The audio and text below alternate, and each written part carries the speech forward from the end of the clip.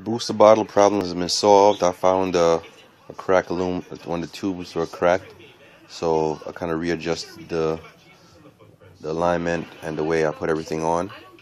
So that's the new setup and how my booster bottle is on the car. And I made a, a mounting bracket for it, so it stays steady. And the fuel tank opens up, so. I do have clearance.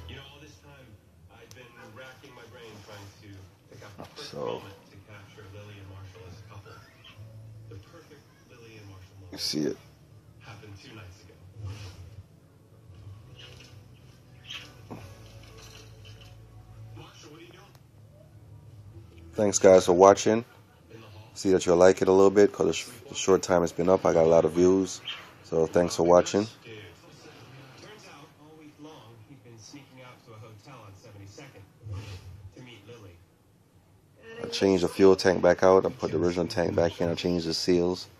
So a little more run time, you know? So that's it. That's a new update. I did them back over.